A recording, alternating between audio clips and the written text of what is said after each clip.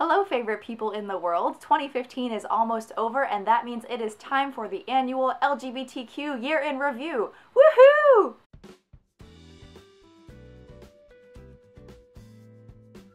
The Supreme Court struck down the Defense of Marriage Act, which legalized marriage equality all over the United States. It was incredible. Same sex couples started marrying all over the country except for one county in Kentucky because Kim Davis wouldn't let them, but then she went to jail, so it was all okay. Caitlyn Jenner came out publicly as transgender in a process that involved a two hour TV special, a magazine cover, a TV series, and so much more. She has sort of announced herself as a leader of the trans community, but based on her recent comments, we know that she actually still has a lot to learn about what that means. This was a depressingly record setting year when it comes to violence against trans people, particularly trans women of color. There were at least 22 reported murders of trans people this year, as well as a number of trans youth suicides, which is a sobering reminder of how much more work we have to do to protect our trans community. There actually was a congressional forum held on how to address violence against trans people, which means that even though it's taking a long time, there are some people at the top listening. Discriminatory religious freedom bills are still a thing, particularly this year in Indiana, where a Religious Freedom Restoration Act almost became law but was stopped at the last minute.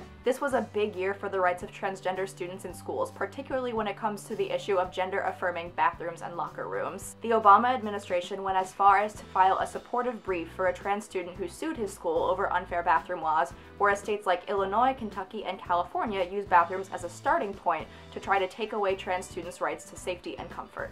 Two more states banned conversion therapy for minors, Illinois and Oregon, as well as the city of Cincinnati. Members of Congress introduced the Equality Act, an all-encompassing bill that would basically outlaw anti-LGBT discrimination across the board. It's a long shot that it will actually pass, but at the bare minimum, it shows that there are some people at the top who are aware of the many ways in which LGBT people are still not equal today, even now that we have marriage equality. This was the year of the gender-neutral pronoun. Big name publications like the New York Times, the Washington Post, and the Oxford English Dictionary dictionary started to become more open to words like the singular they and the pronoun mix or mux, spelled mx period. This sets a precedent for other publications and institutions in the country to figure out how they're going to navigate gender neutral language in the future, which is really exciting. Ireland legalized marriage equality by a vote, which is the first time that has ever happened, and by the way, it won by a landslide. The military announced that it's planning to end the ban on transgender service members. It's still in the works, but expected to roll out completely by next year. The movie Stonewall came out and faced a lot of criticism because it seems like the movie is really whitewashed and downplays the role of trans women of color in the actual Stonewall riots. Fun Home cleaned up at the Tonys with five awards, including the coveted title of Best Musical, which is a really big deal for a play that is based on a lesbian's memoir all about being a lesbian. We collectively fell in love with Aydian Dowling, the trans athlete who was a runner-up in Men's Health's Ultimate Guy competition and who is generally so dreamy. Jazz Jennings had an amazing year. She became the face of a national marketing campaign, she got a TV series. Unfortunately, some elementary schools are not allowing students to read her book, which is a bummer because that's exactly what it was created for.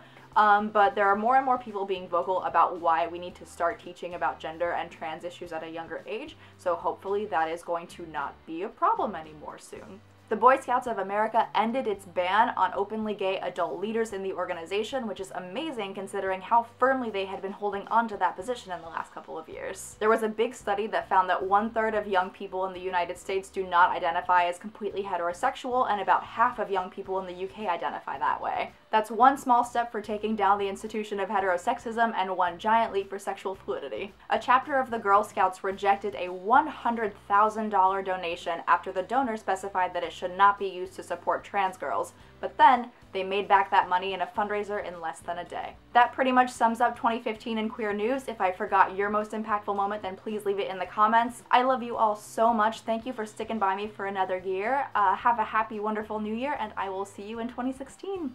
Mwah! Bye! The day after I finished making this video, the FDA announced that they were finally changing their policy that used to ban men who have sex with men from donating blood for their entire lives.